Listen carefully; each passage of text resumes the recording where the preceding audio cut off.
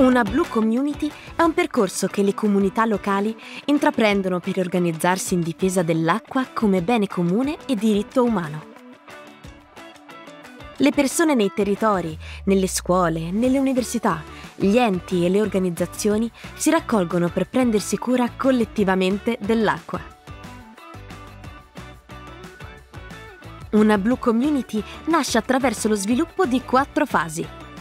L'aggregazione e l'avvio, la conoscenza dell'acqua, il diventare propriamente una Blue Community e l'operatività. Nella fase di aggregazione avvio, una singola persona o un gruppo interessati a prendersi cura dell'acqua decidono di dare avvio a una Blue Community. Partono così alla ricerca di nuovi membri o associazioni interessati a prendere parte a un'esperienza comunitaria per la protezione delle risorse idriche, per condividere le rispettive esperienze sull'acqua e definire i valori comuni che guideranno le azioni future. La diffusione degli appelli può avvenire attraverso incontri e riunioni, assemblee d'istituto, messaggi sui social, sui siti o incontri informali. La fase successiva consiste nella conoscenza dell'acqua nel proprio contesto di riferimento, il proprio comune, la scuola o il posto di lavoro.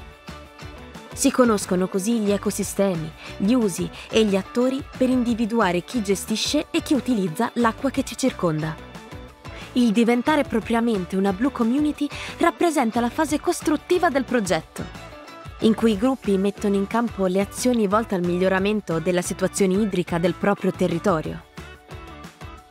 Tra le molteplici tipologie di comunità che possono nascere, alcuni esempi sono la Blue Community scolastica e territoriale.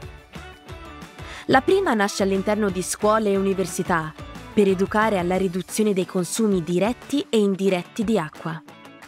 Mentre la seconda nasce per prendere impegni concreti per la cura dell'acqua grazie ai comuni e alle associazioni legate all'acqua.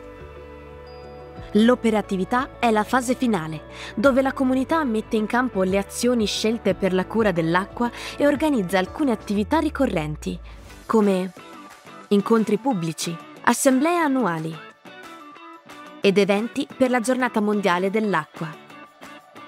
Queste azioni possono essere accompagnate da fasi di studio e ricerca, campagne di sensibilizzazione e monitoraggio costante anche attraverso sondaggi dei risultati della community.